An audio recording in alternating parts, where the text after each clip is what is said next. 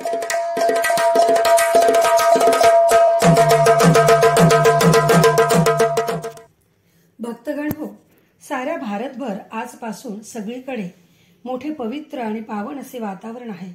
सारा भारत राममय झालेला आहे. आणि आज प्रत्येकाला वाटतंय की त्या रामरायाच्या अभूतपूर्व सोहळ्याला आपणही उपस्थित राहावं. पण ते शक्य नाही. आणि तरीही शरीराने नसलो तरी मनाने आपण सारे कधीच अयोध्येला जाऊन पोचलो आहोत. सा- मला सांगायला आनंद वाटतो की चार पाच वर्षांपूर्वी श्री रामनवमीच्या उत्सवात एक गीत मी रचले होते. आणि ते गीत सत्यात उतरेल अशी तेव्हा मला जराही कल्पना नव्हती. पण आज ते गीत सत्यात उतरले आहे आणि आज ते गीत जणू प्रत्येकाच्या मनामनात आहे.